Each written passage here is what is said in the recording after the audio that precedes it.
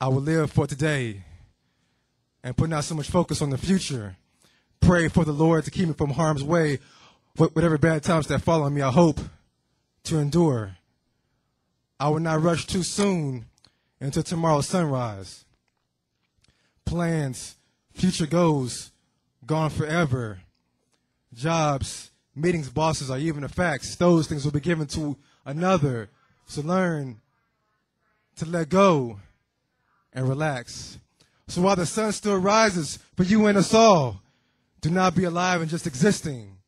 When you're done with your daily work haul, life is meant to be lived while we're living.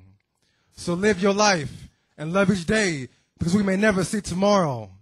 Live today for today and enjoy your time borrowed. Borrowed time.